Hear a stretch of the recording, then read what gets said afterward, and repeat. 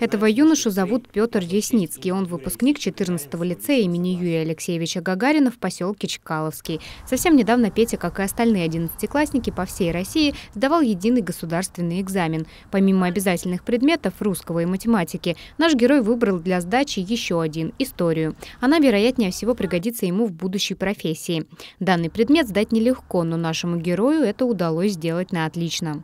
По моему мнению, история – это один из важнейших предметов э, для изучения, который помогает нам окунуться в ту или иную эпоху, узнать ту или иную личность, можно сказать, познакомиться с ним лично. Мне кажется, это удивительная возможность Петя мечтает стать дипломатом, а для этого необходимо умение налаживать контакт с представителями зарубежных стран. А чтобы менталитет людей другой национальности был более понятен, знать историю не только своей страны, но и других государств – задача первостепенной важности. Юноша рассказывает, он был уверен в своих силах, когда шел на экзамен, и знал, что сможет получить высокий балл. Чтобы добиться хорошего результата, выпускник много и тщательно готовился.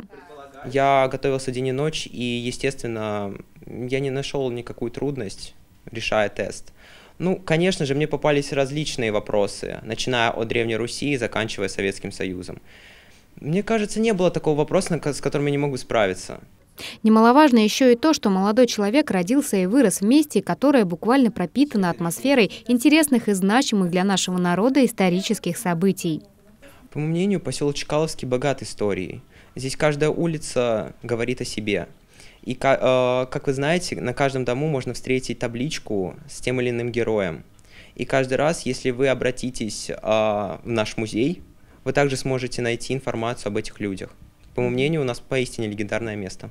В семье Пети практически все военнослужащие и активно занимаются общественной деятельностью. Молодой человек гордится родными, понимая, как важно чтить память предков и знать историю своей родины.